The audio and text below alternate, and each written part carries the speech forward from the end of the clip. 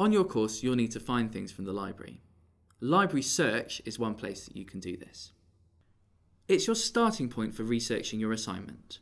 It contains ebooks, newspaper articles, images, and much more besides. The best thing about Library Search is that the content is academic.